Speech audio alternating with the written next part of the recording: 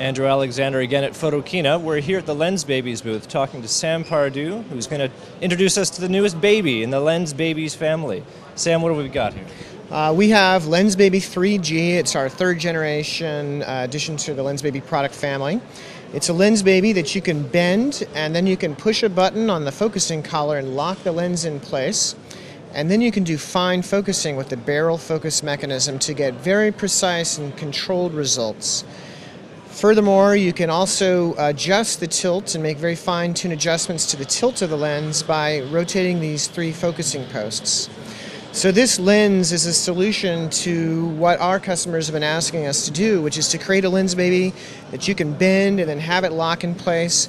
It allows photographers to repeat the same photo exactly. It allows very precise focusing so you get the sweet spot exactly where you want it, just as sharp as you want it.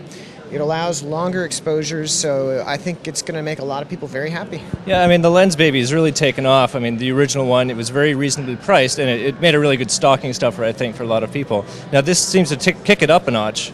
That's right. This is, uh, this is really targeted at uh, very serious photographers who need to get very specific results. The retail price is $270.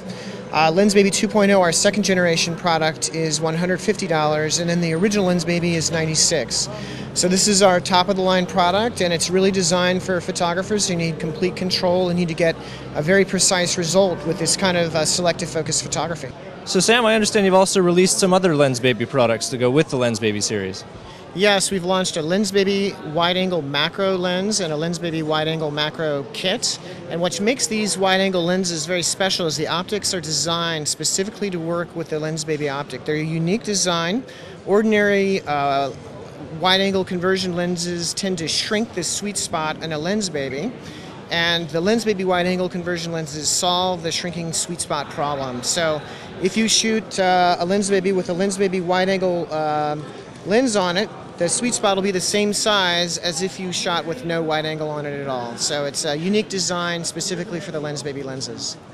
When can we find these? Okay, uh, uh, photographers can order these now from retail stores and from the lensbabies.com website, and we will begin shipping in mid November.